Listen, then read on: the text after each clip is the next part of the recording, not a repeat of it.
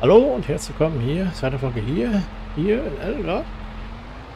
Ja, wir haben November und wir kaufen weiterhin äh, Silagebahn. Diesmal geht es um Viehhandel. Der Preis ist sogar gestiegen und wir mal sehen, dass wir ein bisschen verdienen. Ne?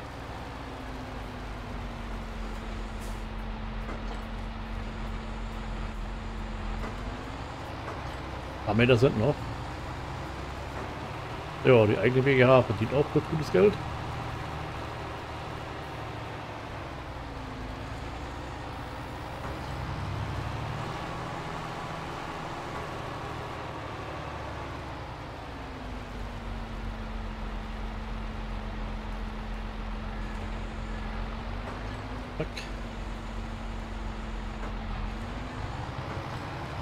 Ja, das Laub ist wieder eingefärbt, ne?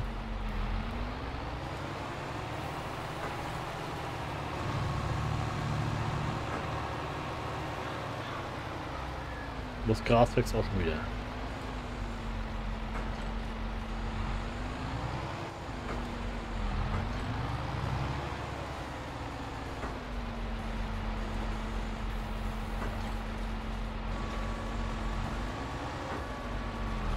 Schöne runde Ballen.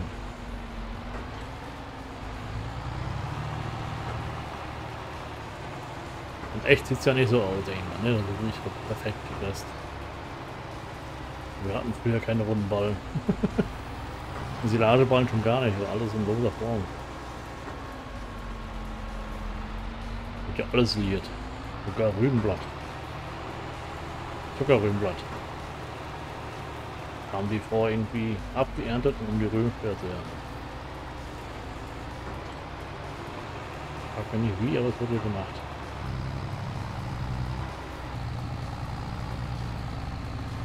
Ja, die DDR hat sich alleine versorgt. Überwiegend.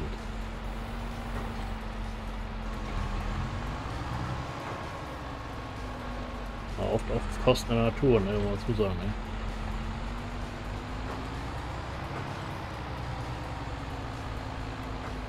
Aber die Ernährung der Menschen war halt wichtiger als die Natur in dem Augenblick. Äh, Supergau war mal gewesen, wenn wir abhängig waren. Wie vom Kaffee und so, ne?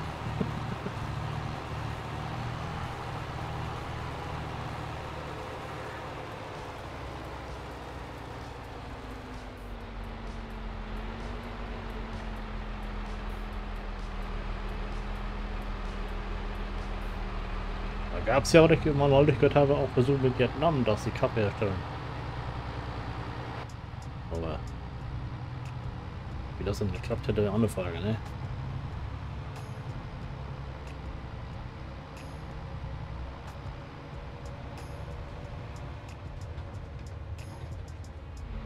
Ja, wir hatten auch alles gehabt. Industriemäßig. Nur was mal zu knapp war, waren die Ressourcen. Stahl zum Beispiel.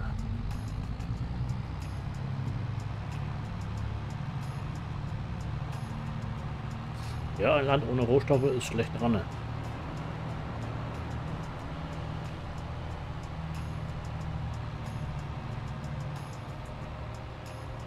Geht's aus? Super. Alles ohne Fehler.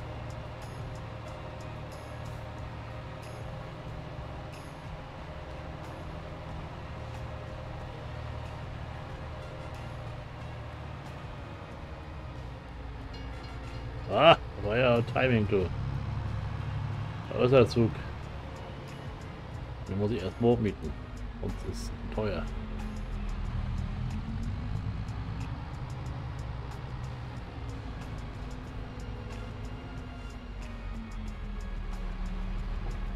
Die ist ein bisschen eng zum Fahren, ausfahren vor allem. In die Ecke.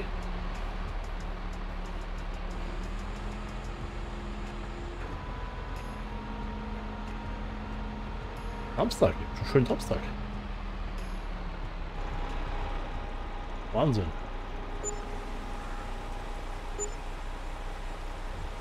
Regen.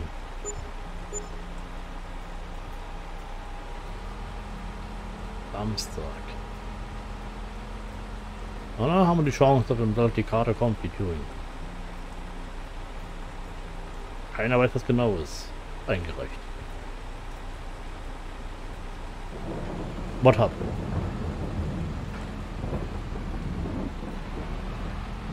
Aber einfach nur Standardfrüchte, ne? Also das ist einmal...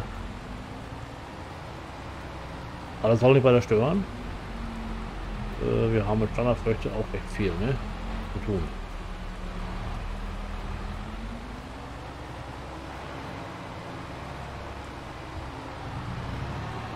Wenn alles bisschen mehr so nutzen, was möglich ist. Kleiner Mais, Silage, Mais, Mais-Silage, ja, Grassilage, also was halt, ne? Da haben wir sicherlich genug zu tun. Da erstmal Felder kaufen, gucken, Hofbereich, äh, Kühe und dann mal schauen, wie es da aussieht in den Molkereien, was vorhanden ist wie das Ganze ja aufgebaut ist, ne? Produktionstechnisch. Ich kann da hier vorne schon mal die Ballen einsammeln, die sind ja auch, sollten auch gut sein, ne? Ach, alles Gras schön gewachsen. Das ist hier Originalgras, ist aber ne, nicht mehr gedüngt worden. So, was haben wir hier Schönes? Tatsächlich nur 97 Prozent. Ist noch nicht so weit. Da oben, die anderen.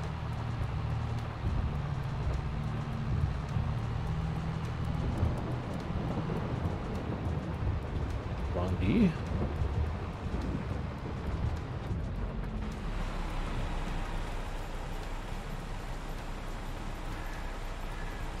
Silage, okay. Aber so weit fahren, ne?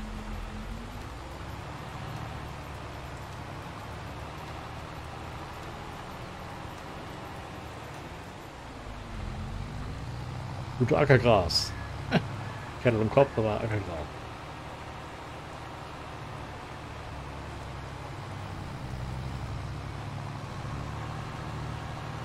War ein bisschen, äh, ja, ausbaufähig, ne? Aber der, der Ansatz war gut.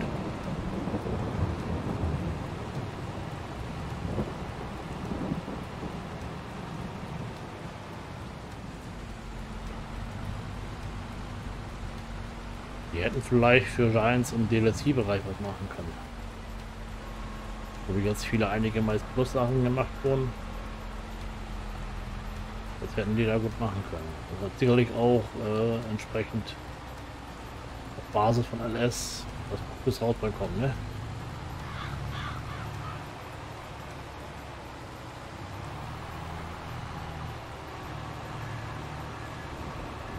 eher machbar wie das ganze System, ne? weil das Prinzip, äh, da sie nur eine Karte hatten, jetzt soll es ja eine zweite geben, umge umgebaut wurde. Äh, aber wie gesagt, wenn du nur eine Karte hast, anfangs, also am Ende wird es ja langweilig, ne? Weil die Karten sind ja heutzutage entscheidend. Also ganz wichtig.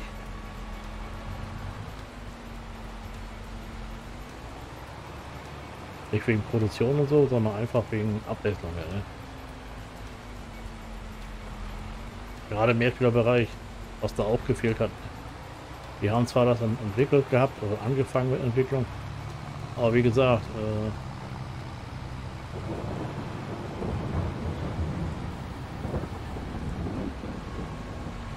der Basis wird es gehen, also über S und dann das gleiche System reinbringen wie richtig Season, ne? War ja auch mit, mit Bohlen und so, ne? Und Fortpflanzung und Milch geben.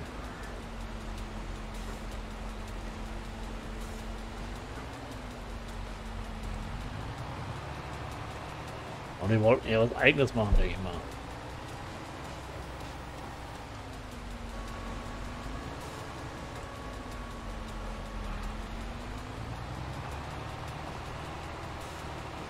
Das es eher gewesen sein. Oder sie waren sich im Knatsch mit dem Nein, das kann auch sein. Das kann ja auch Prozent sein, muss ich gar nicht. Über einen Gang hat, also keine Ahnung. Ich Prinzip. mehr eigenen Kopf hat oder so. Keine Ahnung, ich weiß von nichts, aber wie gesagt, es gibt viele Momente, wo Menschen noch nicht klarkommen.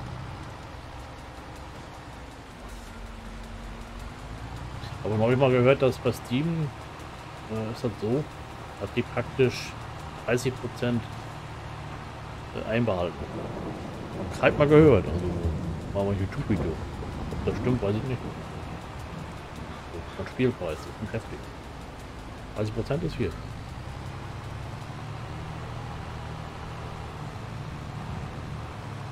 Ich bin mit Steam zufrieden. Also immer Updates äh, kommen rein. Äh, Spiel installieren ist kein Problem. Du lädst runter. Wenn du haben möchtest, kannst du auch deinstallieren. Du hast nicht Schwierigkeiten. Das ist halt. Du kannst kurz die Lage reinspeisen. Mit den anderen.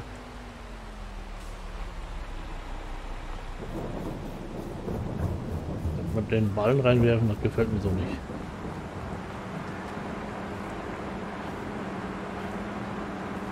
Wisst ihr alle? Tatsächlich. Was hier passiert?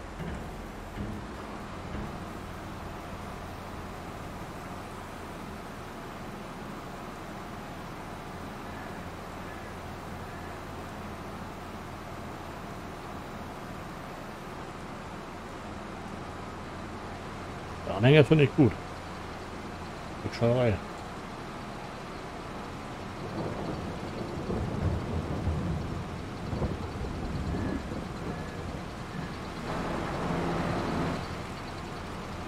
Mist, auf 16.000 Muss zur nächsten Runde überspeisen um, um 10 Uhr.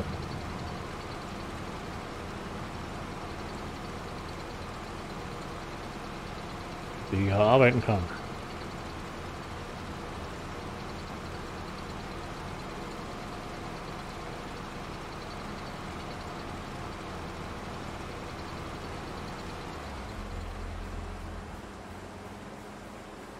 Gut.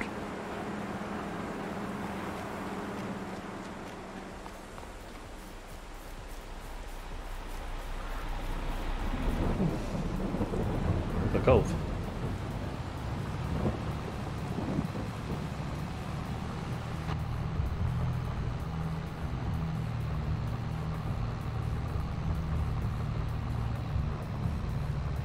Wie ist Ton so?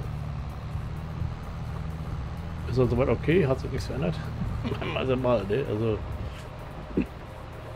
könnte ja sein, dass man plötzlich äh, ja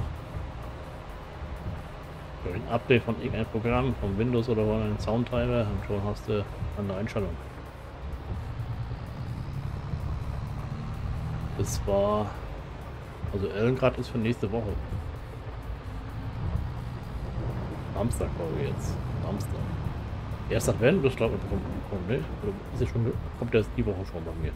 Also morgen. Kommt einfach schon morgen. Es muss zwei sein. Schön Advent schon morgen. Aber mal allgemein, ne? Kommt also so mit durcheinander mit Weihnachten und so. Oder ist es rege?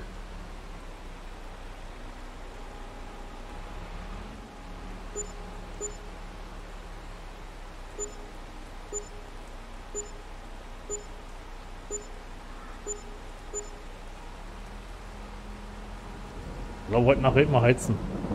Oder morgen Vormittag.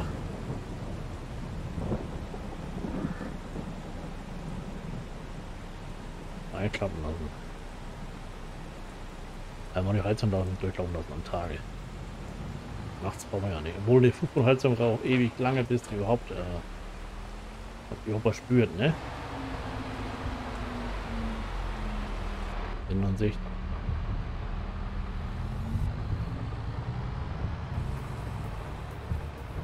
Aber den Gaspreis da da ganz schön, äh, naja. das schreckt mir doch ein bisschen ab. Weil wir fürchten, dass wir eine Nachzahlung im nächsten Jahr, noch dieses Jahr, ja, dieses Jahr abgelesen wird ja am Ende des Jahres, Dezember, äh, Silvester normalerweise oder Neujahr. Weiß ich, ob der neue Zähler das automatisch macht oder ich manuell, ich muss tanken fahren. Junge, tanken fahren. Einmal wird noch gehen.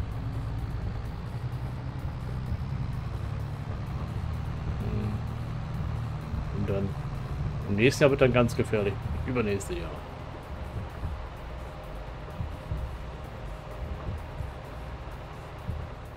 Da muss ich aufpassen. Ich habe schon letztes Jahr eingespart. Äh, ein bisschen so. Guck, dass ich manuell heize, nicht automatisch. Wenn man den Eindruck hat, dass er automatisch äh, viel verpufft, ohne dass es überhaupt was bringt. Aber das Jahr ist ja äh, noch blöder, weil die Preise noch dienlicher sind, ne?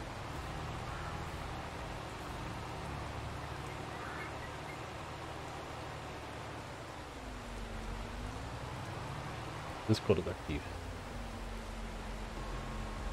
Ja, Discord, Bots, da habe ich keine Ahnung von. Also da... Wie gesagt, alles muss kostenlos sein, weil ich hier im Prinzip kein Geld verdiene. Und auch nicht vorhabe, hier Geld zu verdienen. Man einer anbietet hier, dass ich im Monat hier 70, 8 Euro bekommen kann. Äh, Traumpreise. äh, dann würde ich es auch äh, nicht abschlagen. Aber sagen wir so, so 2, 3 Euro im Monat, äh, nö. Ist erstmal nicht vorgesehen. Muss ja auch steuerlich geklärt sein, ne? Ja, Steuern zahlen kann wegen 3 Euro oder einen Haufen bürokratischen Kram machen muss. Das ist halt für mich ein super GAU. Da hätte ich auch keinen Bock drauf.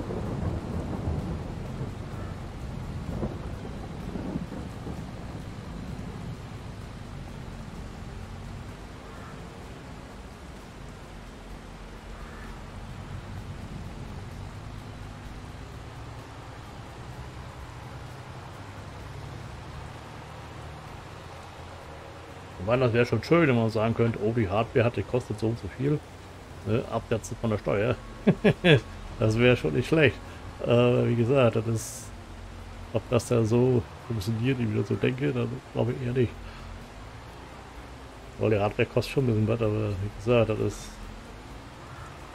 wenn ich dann keine Lohnsteuer zahlen müsste, für meinen Lohn vor allen Dingen, dann wäre natürlich, äh, dann wäre es sofort, äh, naja, nicht perfekt, aber halt äh, super, ne? Also, wenn man Spaß hat, dann auch von der Steuer absetzen kann. Das wäre schon schön. Aber ich denke, es wird nur das gehen, wenn man auch verdienen würde, ne? Von der Steuer, zur Steuer zahlen müsste, die man jetzt, äh, jetzt hier einnehmen würde. Also wäre ja nicht so viel, mal. Also hoch. So hohe Einnahmen erwarte ich hier nicht. Ne? Also, wenn überhaupt. Äh, wird sich gar nicht lohnen, überhaupt anzufangen. Oh, ich sehe gerade. Die Zeit ist rum. Ich sag mal, vielen Dank fürs Reinschauen. Und tschüss, ciao. Ja, morgen geht's hier weiter. Hier in Ellengrad. Da fahren wir tanken und ja, weiter Silage verkaufen. Tschüss.